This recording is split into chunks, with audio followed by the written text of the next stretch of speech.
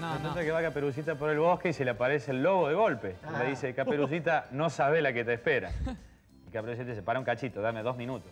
¿Para qué dos minutos? Así voy al río, me lavo la costa porque seguramente me va a mandar a guardar esa flor de por, por la calle que me va a dejar campaneando las amigas, la lobo puto, lobo tonto.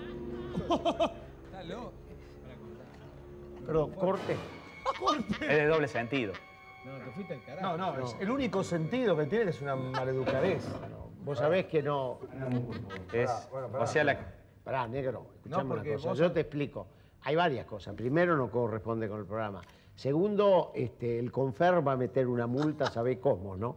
Y, y a mí, por esa multa, por ahí me echan del canal. Te digo... no es tan te- malo el chiste. No, no, el chiste es, es pésimo. que así lo contó Claudio Villarroel en una reunión de directorio en Telefe y a nadie se le cayeron los anillos. Bueno, pero era una reunión de directorio, no era no delante de las cámaras. ¿Querés uno de más desarrollo y con algo de, de enseñanza? ¿Querés algo de eso? Bueno, Algo- Hagamos una cosa, contá otro chiste y que él le dé el remate así editas. ¿eh? Le da el remate bien. el pie. Bueno, pánico.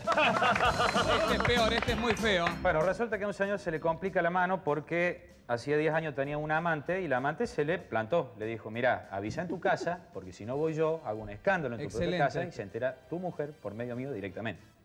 Entonces el tipo la venía masticando, que qué hago con esa cosa encima, de que y no le queda otra que recurrir al psicólogo.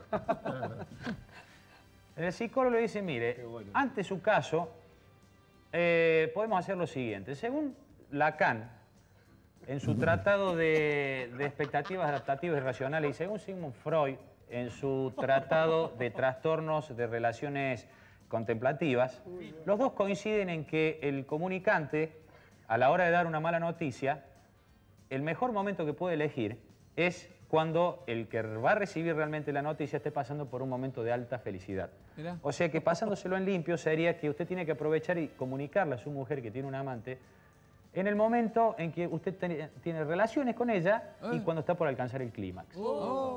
¿Eh? Entonces, esa misma noche, en el medio de las relaciones, la señora que le está por venir el gustito, el tipo empieza a pensar y se lo digo ahora que tengo un amante y se lo digo y se lo digo ahora y se lo digo y se manda el tipo le dice, querida, ¿qué? Le dice la mujer, tengo otra. Ah, si tenés otra, metémela en el horno. La madre que te ¿Qué espera? ¿qué? Esta- ¡No podés! Perdón. ¿Pero ¿cómo ¿Qué? ¿Qué querés? ¿Uno protocolo? No, no, yo lo que te, te explico es que el cuento iba bien, además este, era una descripción intelectualmente válida. ¿Querés un mamá, mamá? Mamá, mamá. Mamá, mamá, la luz No, existe. no, no, La no, luz- paremos con los chistes si no les molesta. No, a pero ver, eso de a ver. chico, mamá, Sí, mamá. por favor, por mamá, favor. mamá. ¿Cómo mamá, no? mamá, la luz se come. No, ¿cómo se va a comer la luz? ¿Y cómo papá le dijo a la sirvienta, apaga la luz que te la vas a comer doblada, hija de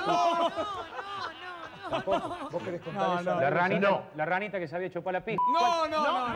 ¡Yayo, basta, Yayo! Escuchame una cosa. ¿Querés un cuento verde? No, sé No, no, quiero nada, no quiero nada. Perdóname eh, si te di en tu amor propio, pero esto yo no quiero No, más no, yo me preocupo No, no. por vos porque no, No, me queda la duda si lo bien. entendió o no.